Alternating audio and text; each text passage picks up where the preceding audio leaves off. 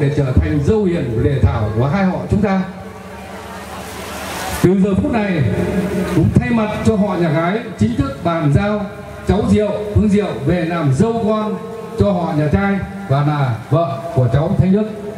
Và cũng hôm nay, chúng tôi xin được tiếp nhận cháu Thanh Đức về là con rể của họ, nhà gái chúng tôi và của ông bà Hoan Hằng. Nhân dịp này, thay mặt cho gia đình ông bà Hoan Hằng và họ nhà gái, chúng tôi xin chân thành cảm ơn và biết ơn sự có mặt của các cô, các ông, các bà, các quý vị đại biểu đã về dự và chia sẻ chúc phúc và giúp đỡ cả về mặt tinh thần và vật chất. Đặc biệt là bà con xóm sở tại đã tạo điều kiện thuận lợi à, để cái buổi hân lễ của các cháu hôm nay thành công tốt đẹp. Cuối cùng chúng tôi xin chân thành lần nữa cảm ơn kính chúc các cụ, các ông, các bà, các bác, các quý vị mạnh khỏe, hạnh phúc và chúc lễ thành công của hai cháu thành công tốt đẹp. Xin thành cảm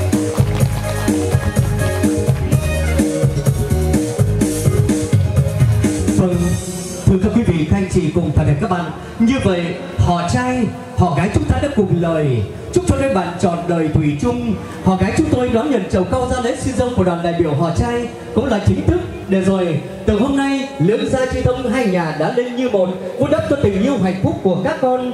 Thưa các đại biểu thưa các cụ ông của bà các bác các anh các chị cùng toàn thể các bạn vị đại biểu cũng không quên được kính chúc tất cả các quý vị, các cụ ông của bà, các bậc cha bác, các anh, các chị cùng toàn thể các bạn mạnh khỏe, gia đình an khang, thịnh vượng và tràn đầy hạnh phúc. Chúng tôi rất trân trọng, cảm ơn lời phát biểu của đại biểu đại diện cho gia đình họ gái. Kính thưa các quý vị, kính thưa các cụ, các ông, các bà, các bậc cha bác, song thân nay họ kính mến. Thưa toàn thể, các anh, các chị và các bạn, thanh niên nam nữ của đây bạn thân mến, nói về tình yêu tình yêu có rất nhiều điều. Tình yêu được ví rằng như cây và đất. Tình yêu được ví rằng như ruộng liền bờ. Để rồi câu thương câu nhớ và bên chờ bên mong. Hôm nay đã thỏa tấm lòng rồi. Song tân nay hỏi chúng ta về ngồi bên nhau để chứng kiến những giờ phút tuyệt vời hạnh phúc của chú rể cô dâu. Và thời khắc này, xin mời các quý vị, các chị cùng toàn thể các bạn, chúng ta hãy hướng mắt về nhân vật chính. Sau đây, chúng tôi xin được trân trọng kính đề nghị chú rể hãy ôm hoa vào trong phòng nhà để trao hoa cho cô dâu và sau đó các em trở về trước bàn thờ gia tiên để thắp nhang trọng kính gia tiên. Sau đó chú rể cô dâu sẽ ra phòng cưới để kính chào các quý vị. Vâng, chúng ta hãy vỗ tay để nói nhịp chân cho chú rể. Chàng trai rất đẹp, rất đẹp, rất hiền dịu, chàng trai của thủ đô Hà Nội Vâng, rất dịu dàng, thanh lịch Sẽ trở vào trong phòng nhà để trao hoa cho cô dâu Cô dâu chuẩn bị đón nhận hoa hạnh phúc của chàng rể. Và sau đó các em về bàn thờ gia tiên Để thắp nhang trọng kính gia tiên theo nghi thức uống nước nhớ nguồn. Vì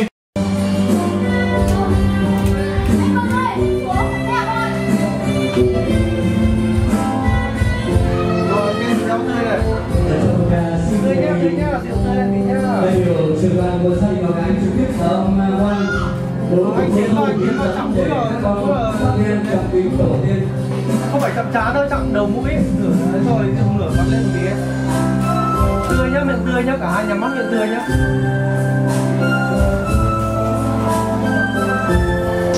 Rồi ok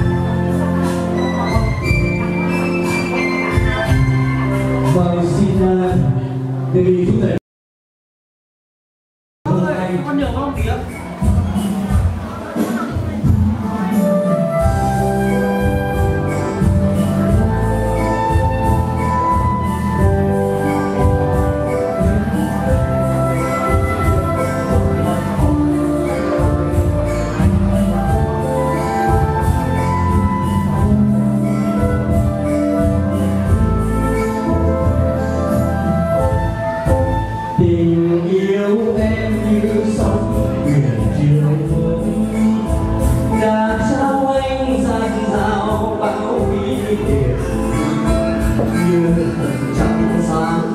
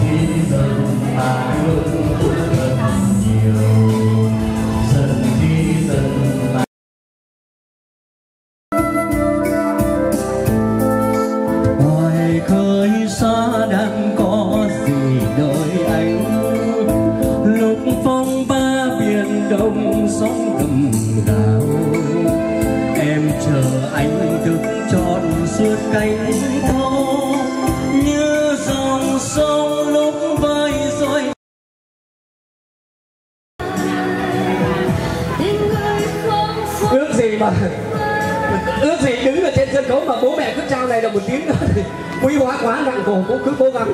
Rất tuyệt vời. Xin quý vị và chào mừng vâng ông bà hướng về phía giấy dưới máy ảnh nha, để ờ, các nhà làm phim nhà chụp ảnh chụp luôn. Xin mời ông bà đứng sát vào các cháu đi. Ông bà đứng sát vào các cháu để chụp ảnh luôn. Đây là một gia đình rất giống yêu. Vâng xin mời nhà hành chúng ta chụp ảnh lập kỷ niệm. Và bây giờ chuẩn bị chúng tôi xin mời hai em dương, hai em dương linh lên sân khấu để trao kỷ niệm